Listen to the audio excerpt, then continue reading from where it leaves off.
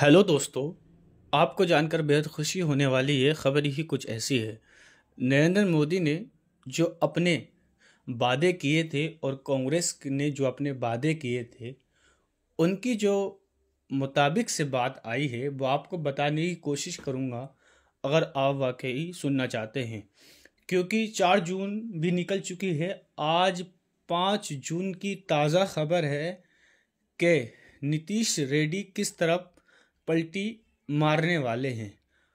नीतीश अगर बीजेपी की तरफ़ जाएगा तो बीजेपी की सरकार बन जाएगी। या ऐसा होगा। क्योंकि आपने देखा, जो आंकड़े नरेंद्र मोदी ने पहले बताए, जो उनके दो पिछले चुनाव में उन्होंने अपनी बहुमत के साथ इलेक्शन जीते, लेकिन अब के उन पे खड़े नहीं उतरे और बहुमत से भी बहुत पीछे रह गए। इसीलिए उन्हें साथ लेना पड़ा नीतीश कुमार का। क्योंकि जो गठबंधन में दिख रहा था, पहले से जितना शोर शराबा एग्जिट पोले खुल रही थी, उससे कई गुना ज़्यादा दोनों बहुत पीछे हैं। लेकिन आपने देखा, गठबंधन ने तमाम रोड शो किए और उधर ही बीजेपी ने भी तमाम में रोड शो किए, क्योंकि इनके दो महीने तमाम रोड शो में निकल चुके हैं।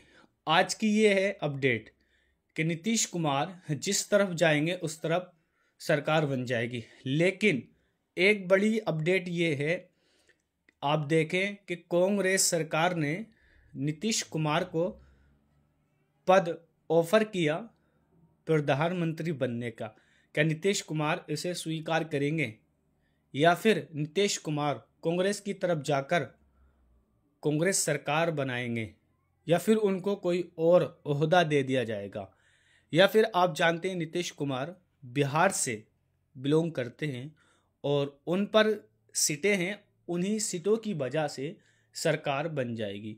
क्योंकि जब गठबंधन कांग्रेस सरकार ने तमाम लोगों के साथ किया और लोगों ने बहुत प्यार दिखाया, मैं आपको दिखाऊँगा, आप वीडियो को पूरा ज़रूर देखें। क्योंकि अगर नरेंद्र मोदी की सरकार बनती है तो ये तीसरी बार हैट्रिक चांस रहेगा नरेंद्र मोदी के लिए। आप देखें, यह हैट्रिक चांस है। अगर किसी वजह से बीजेपी की सरकार नहीं बनती है तो कांग्रेस की सरकार बन जाएगी और ये बहुत बड़ा अहम कदम रहेगा कांग्रेस सरकार का। जो कांग्रेस सरकार ने वादे किए थे, उन वादों पे कांग्रेस सरकार खरी उतरेगी या नहीं, वो आपको नेक्स्ट वीडियो में बता दिया जाएगा, क्योंकि आज ही सफाया हो जाएगा किसकी सरकार बनेगी। नीतीश कुमार किधर पलटी मारेंगे? तो अपडेट के लिए